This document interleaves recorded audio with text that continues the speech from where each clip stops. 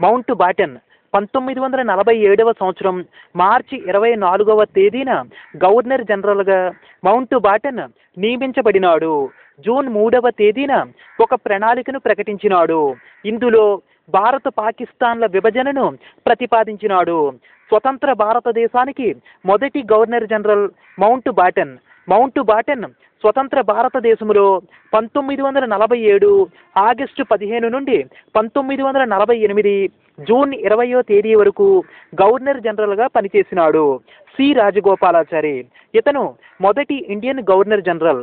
ఇతను పంతొమ్మిది వందల నలభై ఎనిమిది జూన్ ఇరవై ఒకటవ తేదీ నుండి పంతొమ్మిది వందల యాభై జనవరి ఇరవై ఐదవ తేదీ వరకు గవర్నర్ జనరల్గా పనిచేసినాడు.